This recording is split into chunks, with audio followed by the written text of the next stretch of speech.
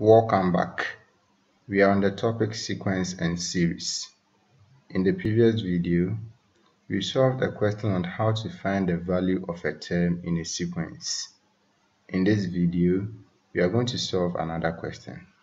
The question for this video is Find the first term of an AP if the sixth term is 24 and the common difference is 4.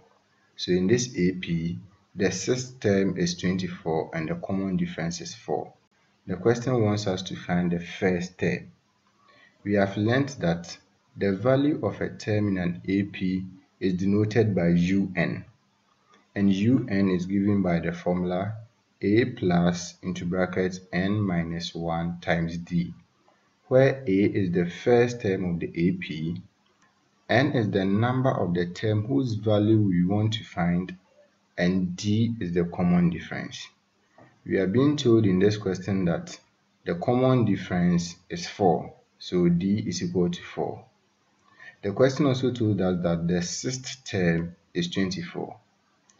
We have learnt that the sixth term is denoted by u6, so it means that u6 is equal to 24.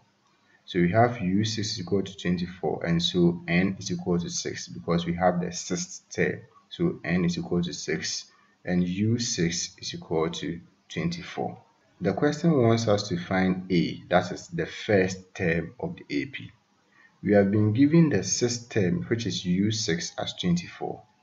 Let's find the sixth term by using the formula. If we use the formula, u6 is equal to a plus we have n minus 1 times d.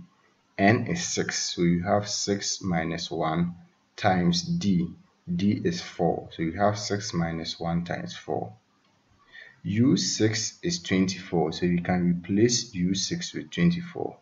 So 24 will be equal to a plus 6 minus 1 is 5 5 times 4 is 20. So we have 24 is equal to a plus 20. We group like terms and we are going to have a is equal to 24 minus 20 which is equal to 4. So a is equal to 4. This means that the first term of the AP is 4. Thank you for watching this video. Subscribe to this channel for more videos. In the next video, we are going to solve another question on how to find the common difference of an AP when we are given the first term and the value of another term. Bye-bye.